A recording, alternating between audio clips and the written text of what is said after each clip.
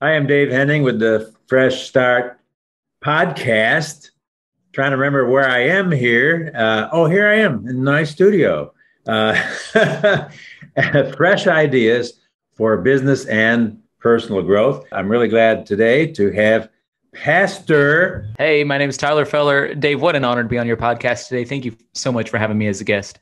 Oh, Tyler, great to have you. And you are a lead pastor at a church in Southern Illinois. Yeah, M1 Church. Yeah, it's M1. it's McLeansboro First General Baptist Church. We call it M1 Church for short. Incredible M- church, full of amazing, wonderful people.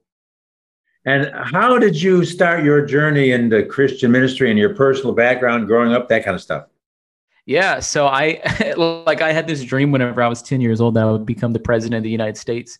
And you know, it's kind of a, a, pretty audacious, you know, audacious dream for a 10 year old. In fact, I, I wore a suit to school uh, pretty often. And uh, I was in charge of putting our flags up and down on the pole. And on career day, I was dressed as the president because, you know, that's what I thought I was going to be. Or I, I thought first I'd become the governor of Missouri and then the president because I grew up in Missouri. And when we were taking our picture for career day, the counselor said to me, she said, uh, Tyler, what are you dressed up as? And she saw the tag I had that said president. Instead of saying president, she said, preacher. And what she was doing to me was instilling something in my heart that really I didn't know she was doing, but the Lord was implanting it. And it was this desire to, to work in ministry. And I actually started having dreams of me preaching and teaching from that point forward. And it was like the Lord was really you know, indwelling into the DNA of who I am about who I would become. Wow, that's amazing. Well, you know, there's still time to be president. I mean, you can you can be yeah. you can start when you're 72 if you want, if you know what I mean. Yeah, yeah, that's fine. I know I got plenty. Well, after I retire from ministry, then I'll become the governor of Missouri, which I don't even live in Missouri anymore, and then I'll become the president. Yeah, why not? Right, exactly. Well, that is awesome. I mean, I've heard some really true historical stories of people that started preaching when they were very, very young. Yeah. Uh, and uh, so, hey, that's fantastic. For me, uh, I, in high school, I wanted to be a disc jockey. So, you know, the first time I preached a sermon, I was probably 14 years old, and I started preaching every Wednesday at this little church that I that I grew up going to, and down a gravel road because where I grew up, it's a population 244 people, and all of these kids from my school started coming. They were driving uh, like literally like seven miles, some of them down gravel to get to us. And we grew to over 50 students. And when I was like 14 or 15, I baptized seven of my friends uh, in our church. This is incredible. Like the youth ministry was rivaling the size of the Sunday morning church attendance because because what the Lord was doing. It was a call in somebody's life. They were obedient to it. And the Bible says, let nobody despise you because of your age. We need to not despise young people because even if they might not have all the natural wisdom that we expect, they have spiritual gifts that came from the most high place. And we need to be a society that honors that. Absolutely. Absolutely. And uh, you remind me of, uh, I was really struck and privileged to hear Dr. J. Edwin Orr from Fuller Seminary. You know, he was a Scottish world evangelist, but he was a historian who knew all about all the great awakenings and documented yep. that. And you reminded me of Evan Roberts, who was a college kid. Uh-huh, and, uh-huh. and he felt like he was supposed to go home and share this message with the church. So he asked the principal, uh, "You think that's God or the devil?" And the, pre- the president, president of the college says, "The devil never talks by that uh, like that, son. Let's go ahead and go home." So he goes home, and his parents go, "What are you doing here?" Well, I'm supposed to preach to the youth in church. Well, we didn't hear about it. The preacher didn't announce it, and, and it ended up being he had he had prayed with his roommate that God would give them a hundred thousand souls in one year, which yep. actually happened. The Great Welsh Revival. So uh, you know, if you if you read about Evan Roberts, something that I thought was so powerful in that story is that soccer was really big in Wales. And the year that this revival took place in the history books, they quit playing soccer, and it says revival did not play because of what God was doing. And and he was even younger than a college student when he started because he was like 12 years old and he would go to the coal mines and worked with his dad. And when the coal miners went in, he would say, I want you to think about this verse today. And he would read them a Bible verse. They would go work for the day. And he's 12, 13 years old. And he would work with them. When they got done at the end of the day, he would say, So what do you think about that verse? And that's really when revival started. He was embedding into the head these people underground all day working this Bible verse, and they would meditate on it and think on it and it was God really teaching him the power of what the the word can do. Isn't that just amazing? Um, just amazing, literally, literally. Tell me a little bit more about your journey from, you know, as your, seven year old boy uh, when you really felt that, you know, well, she's fourth grade. So I think I was 10 years old. Preacher instead of president. Boy, that shattered your dreams. you know, in my mind, though, preachers were held to a higher regard than the president was to me. I mean, it's limited yeah. thinking, but to me, preachers had more authority than than the president did. And and honestly like i could become the president of the united states and its impact are temporal because one day our nation will fall away. But if you build the church and you're a part of what god's doing it lasts forever. So in a lot of ways you know pastors and preachers are more powerful than the president though they might not feel like it this is a very, as you know, a very unique time, and I see God's hand at work in so many uh, different ways. I look at the 20th anniversary of Michael W. Smith coming out with his first ever worship album, which he uh, he told God no initially, but God spoke to him, says, "You're doing this." It came out on the on the day of 911 20 years ago. On Friday night, he's doing a a big celebrate 20 year anniversary of that album, and it just blows my mind how God is moving in this time on stuff just like Evan Roberts on stuff that you're not going to see on TV on the six o'clock news. Yeah, you know, I'm a part of of helping a film right now that's called Sin Proof. It releases next week, September 14th, actually, and it's about medical evidence of miracles, and it's the top doctors. Some of them are atheists and skeptics, and even people from Harvard are a part of the film. Like the top of the top of the top people investigate a set of miracles and prove whether or not medically they were actually miracles or not. And some of them are, and some of them are not. And it's a really incredible mending in such a balanced way of the intellectual and the spiritual. And for some reason, spirituality has decided to just step away from intellectualism. And it's totally negated people that are living in ivory towers of the Ivy League institutions from what's happening in the spiritual world. But the beginnings and the origins of all of those universities were embedded into their DNA of who God was. And so we need to bring all of it back together. And exactly what you're talking about. Media is so full of disinformation. It's hard for me to even know what to believe from any source. It's like I want to hear from the actual source now. And so you're exactly right. We need to get back to truth. Well, and I stood at the at the gate at Harvard uh, back back in the late 60s when I was a 17 year old going to college too young. And it says, it, you know, Harvard, Dartmouth, Yale, all of those schools preacher schools to, to train pastors. Yeah. Yeah, it's that's the original, you know, it's it's original intent. And what happens is people became too spiritual and started to neglect it, and those universities became really progressive and moved away from the gospel message. And I'm not saying that all those things are going to be restored, but I'm saying there should be a group of Christians that are willing to embrace the intellectual. And God's big enough to handle all of it. God's big enough to handle any questions that anybody has. I mean, if he created the whole universe, his shoulders are big enough to take the criticism that even a skeptic may have. And so I challenge anybody listening, go there with him and see what happens. Yeah. And so tell me about the film. When, where, and what venue will it be released and when's it coming out? So it's coming out. The, the premiere of the film is going to be next week on September 14th in Pasadena, California. Uh, at the Ambassador Auditorium, but it's also going to be limited theatrical release, mainly in in independent uh, theaters, and there's going to be video on demand. So people, if they're interested, they can just go to sinproof.com and, and check it out from there. Sinproof.com. That it sounds really eye opening. Unbelievable. And so uh, tell me about your church at M1 there in Southern Illinois. Tyler Feller is with me today.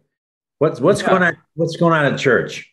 Well, you know, we believe that God's called us to be the lifeblood of our community. And in a season right now where it's so trying and challenging for so many people. We've had awesome opportunities to do that. Like last week, the school had to go to online only mode because there are so many students with COVID. Over 200 students in the school got COVID, and so it it messed with the percentage of people that had to be there to, in order to have school. So they went to online only mode. And there's so many people in our community where rural and it's and it's and there's a lot of poverty. So we were able to open up our church for folks who didn't have devices or internet, and we created an online learning center so families could come drop their students off. they'd go to work or whatever, and then we had a team of people there that's going to help them with their homework and, and things like that. So, in addition to being message carriers of the gospel and taking the Great Commission forth, which is telling people who don't know about Jesus about Jesus and then teaching them to follow Him, we're being the lifeblood of our community, which is exactly the uh, other gospel mandate that He will uh, we people will know that we're disciples by the way that we love, and so we try to love our community really well. And you really have a connection with the with the music that I love, Brandon Lake and some of those guys over at Elevation Church and Kari Jobe. Yeah. And I, I, am you know I'm crazy passionate about music all my all my life, and uh, I actually uh, the reason I got onto the podcast channel was I originally says I I want to own my own radio station, and now that it's digital, I didn't need to buy get a building, brick and mortar, and transmitters. And so I, I built a rock and roll radio station from the same guy, James Mulvaney, over there in Manchester, England. And then I integrated it with with uh, Christian contemporary Christian music. And I found a Christian guy on Fiverr.com who who made like 300 jingles for me. Wow. And, and that evolved into the podcast channel, and that evolved into the connection thing, the matchmaking thing that we use to connect with each other. Yeah. Uh, but uh, I thought, you know, I, I was I've been involved with uh, Young Life for years and years, which is all about building relationships and relationship evangelism and sharing Christ with people who may not even know who Jesus is, may never ever seen a Bible or gone to church. And but the music, something about the music and the the words really connects us. Wouldn't you agree? It, you know, it's interesting how unifying music really is, and the enemy definitely tries to use it you know for his own ill purposes. And i'm ready for us as as believers to reclaim it not just for worship music or for christian contemporary music but in all domains. I think it's it's why we look at people like justin bieber and kanye west who are in the secular audiences and what they're doing is so powerful and important and instead of criticizing them because their discipleship doesn't look like a deacon or an elder in your church we need to really celebrate what god's doing in their life they might not be where we want them to be, but they're definitely not where they should be or had been had it not been for the grace of God over their life and their persistence to pursue Him. And we know that music is unifying, and God's put them on stages in front of more people than we can even count or dream of would come to our church online, even the big churches online. And, you know, we, we really need to support them. But you're right, music is so, so unifying, and, it, and it's important to embrace it. Yeah, I was just watching a YouTube video uh, of Justin Bieber and Shawn Mendes uh, get got together and did, did this uh, song, which was great. Uh, years ago, when I had the privilege of flying out of Logan Airport down to San Diego before John Maxwell wrote 110 books, he was pastoring Skyline Wesleyan Church. We had a private week of leadership with him. But his reason I tell you this is his youth pastor used to stalk rock and roll bands and wow. and and he he drive up to L.A. whenever a big a big rock group was was playing, and uh, he would he would knock on their door, and he'd say, "Hey, I'm not a, you know I'm not a groupie. I just I wanted to come in and say hello." And, and a lot of times we're having the after after concert party late at night. They say, "Yeah, they, yeah, come on in." And he and he you know he just kind of sit down with these guys and share Jesus. There was one group that uh, after their next album came out, and uh, he had witnessed to them in a hotel room, a big party going on, and on the back of their al- first album, after he had met them, it said, "We'd like to thank," and all the credits. And then at the bottom says, "We'd like to thank the Father, Son, and Holy Spirit." Wow. So, you know, and, and, you know, Mick Jagger was always has always been into theology his whole life. I don't know if you know that or not, but I was watching Greg Laurie just interviewed Alice Cooper, who's a devout Christian whose dad is a pastor, and you know, he he Cooper talks about how you know his life was that sex, drugs, and rock and roll thing, and how empty it was, and how he really changed and stuff. So there's a lot of work to do, wouldn't you agree? And it's there's something totally different when somebody meets Jesus for the first time and realize that they have been forgiven and and set free. And you know what we need to do? We need to do a better job at looking at people's potential instead of their position.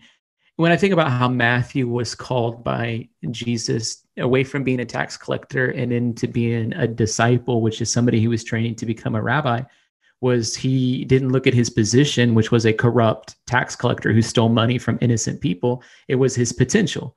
He yeah. needed someone to see his potential. Maybe Matthew was born into that position. We don't know. Was his dad a tax collector? I don't know. We don't know that. Was he one day going to be a priest? Because in Mark, it says his name was Levi, and that's a tribe that's assigned to priesthood. But what happened to Matthew was he becomes a tax collector. He's unclean, he's hated, he's cast out of the synagogue. But Jesus comes along and he sees him. And I love that movie, Son of God, because it shows Jesus sitting at a table uh, collecting money when Jesus shows up and, and calls him. And he sees Matthew. And what does he see? He doesn't see his position, he sees potential. Here's a man who travels a lot for his job. We're going to need that because we're about to travel to a lot of places. That's going to make him a good disciple. Here's a man who knows lots of languages because he has to speak Greek and Hebrew and Latin and probably whatever else is around at the time. Is going to help out because of where they're going to be going for ministry. This is a man who's connected to a lot of sinners. Well, in Luke 19, it says that Jesus came for sinners. That's why he came. So he looks at his position and he sees potential and he responds with purpose. We need to look at people's potential and respond with purpose. I posted a video on my YouTube channel of Shawn Mendes, who was an atheist who heard a worship song from Maverick City and decided he wasn't an atheist anymore. And I and it, it, this video has 400,000 views, probably something like that now, or at least over 300,000, and hundreds of comments. And I can't tell you the number of comments that people have made that are derogatory because he didn't outright profess Jesus. I'm like, no, he's one step closer. We need to, instead of, you know, demeaning him, we need to look at his potential. He was an atheist. And now, because of this worship song, he believes Jesus is real. And if he does encounter Jesus, which God's going to send Kanye West and, like you were talking about, Justin Bieber to be around him, the potential that was embedded in him is going to come to pass.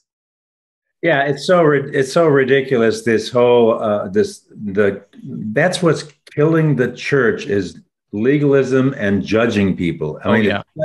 the death knell. The same exact thing happened years ago when B.J. Thomas accepted Christ. Uh, you know, uh, raindrops keep falling on my head and uh, he was just, you know, he's criti- criticized by the Christian community, which is just so inappropriate. Uh, you know, Bob Dylan, when he accepted Christ, and Chuck Smith was was mentoring him, but he kept it secret for some time. This is something that is crippling the church, and we look at society today and complain about what's happening. But imagine, just just imagine for one minute, if people would see people like Jesus saw them, as what you just said, see them for who they can be, who they will be you know, look at the greatest prayer in the in the Bible, in my, is, in, in my humble opinion, is when Stephen is getting stoned by rocks on his head, and he's and he's and he prays, "Father, forgive them." Yeah, and yeah. guess who's standing there? The yeah. Apostle Paul, the future Apostle Paul, is standing there holding coats. The you know the coat the coat room guy. so there's so much hope if we can just grab. You know, Jesus was tough but he also was teaching was teaching uh, love. You know, he didn't mince words a lot of times, and we, we think that meekness is weakness, but he was never weak. He was always meek. That's so true. I think there, there's a phrase that I like to use sometimes. It says, "Honor is given and respect is earned." And I think one of the greatest things we can do as leaders is allow people to earn our respect, but honor them for the potential they could go. Even people we don't respect, let's honor the potential that exists inside of them. And we need more people raising up people to live in what they can become, not what they are. I didn't mean to get on my soapbox there, but I get a little bit passionate. Yeah, yeah, yeah. about, imagine if every Christian would would get the get the message. If I just win one person to the Lord in my lifetime, of all the people that profess to be Christians, yeah, holy revival! Whoa. Mm-hmm. Yeah, one like it, they there was a study that said if one family out of every church in America decided to foster a kid, there would be no foster care in America. And and I know a church in Tulsa, Oklahoma, who made it their mission to end the foster care system in Tulsa, and it completely shut down a brand new building, ten million dollar foster care facility they built in Tulsa got shut down because this church decided to make it a part of who they were. Isn't that isn't it amazing what God's people can do when they're inspired and filled with the Holy Spirit and listening. You got to be listening. You know, I, am uh, in this season of my life. I'm learning to listen way more than I talk. I, I, talk a lot. You'll notice, but what Jesus said: anyone with ears to listen should listen. We have two ears and one mouth. Let's listen twice as much as we talk. And one of the prayers that I pray all the time is speak, Lord, your servant is listening, which that comes right out of the Bible. And I add this tag to it and ready to respond. Speak, Lord, your servant is listening and ready to respond. I write extensively in my book. Actually, the last chapter of my book is trying to set people up to be able to hear God. Uh, a lot of times, what happens, we take off running and then we ask God to speak to us, and we're likely running in the wrong direction. And he, what if we, our first mechanism, all times, stop, listen, pray, seek, and then go? We don't do that. We go and then ask for a blessing or stamp of approval. That's not very honoring. Yeah, yeah, yeah, exactly. Well, this has been a fascinating discussion. Where do you see the direction of, of your church and your ministry going now? And how can I help you? You know what's interesting? When we think about the church of the future, it has to be more digitally integrated, but there has to be more touch points physically. And yeah. so it's a multi-pronged thing. It's like we got to figure out how to mobilize people better and differently than we ever have before, but we also have to have a digital presence. And so we can't substitute the digital presence without a lack of physical touch. Um, and so figuring that out, I think, is going to be the challenge of the next 10 years. And I think people need to be more open to the way that Christianity and the Holy Spirit was expressed in the New Testament. And so that's going to be tough. It's going to be turbulent, I think, for a lot of people over the next few years. The best way, uh, I think, if I would say you could help me or listeners could help me, if you, if people are interested in in growing in their own leadership or growing in their walk with God, I have a book coming out. It releases on November 16th. They can pre-order it now on my website, uh, tylerfeller.com, or it'll be on Amazon and everywhere else, Walmart.com and everywhere else soon. Uh, it's called Don't Stop, and it is all about figuring out how we can – make sure that if there's any resistance that's come against us in our life that we haven't allowed it to to prevent us from walking into everything that God has for us. So it's a blueprint to help people figure out their true calling and destiny. And tell me that website again where they can get it. Uh, they can get it at tylerfeller.com. And there's a thing there that says don't stop book. And they just got to click on that. Tylerfeller.com. Hey, that's you. Let me ask you one more question before we go. What was your very first job when you were a kid? I was an undercover agent for the government, actually, was my very first job. And I would go into stores and buy cigarettes undercover. And then I would report basically back whether or not they sold to me. I had a I had a another undercover actual police officer that would go with me. And we rented a vehicle and then we had a list of stores that the government would print out, send to us, and then we'd go out and we'd do like about 40 stores a day We'd go out and I would buy these cigarettes undercover. it was my first job. Uh, how old were you? Uh, I think I was 16. Right when I turned 16, they that's when and I worked it until literally the day before I turned 18. Because then after you turn 18, you can buy cigarettes. So. So I at first I thought, uh, come on, you're teasing me, undercover agent at 16, but that for real. I was really an undercover agent. My first job. Yep. Did they pay you anything or just give you free? Yeah, cigarettes? no, I got paid a lot. Like I got paid a lot. Oh, yeah. no free cigarettes. What's what's the deal? yeah, I, it was a great job. I wasn't really allowed to tell my friends about it. My school was lenient. the The counselor knew about it, and so occasionally they'd let me miss school even to go work these jobs. Usually we would do them on the weekend or if we had a holiday from school, but a couple times per semester they would let me go and, and work. But i was a good student and so i didn't have any issues academically so i didn't it's not like i was going to be missing stuff but i'd be gone a lot. Sometimes i'd be out working for the government undercover. Wow that is amazing. Wow that that's the best story yet. I mean you wouldn't believe the interesting i throw that question at the end and it really takes people a lot of very successful business people entrepreneurs and christian leaders that i've had on my show but it's amazing the stories they come up with and tell of the, the very first thing, either as a teenager or even younger. But this one, uh, uh, yeah, you get the you you beat them all. I think you undercover. It takes the cake, huh? So cool. Yeah, I can't come close to that, but I did get kicked out of high school. and,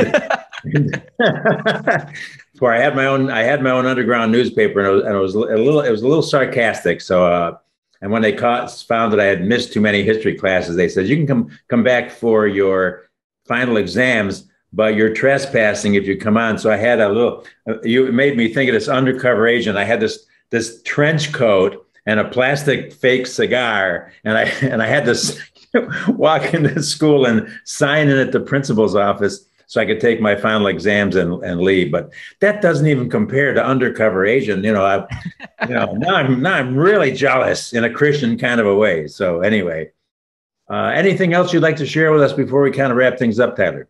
You know, Dave, I appreciate you. I appreciate your heart. I know that you're impacting leaders, and uh, I know people are going to listen to this and, and be encouraged by you and just your general countenance and disposition. I just want to honor you. Thank you for having me.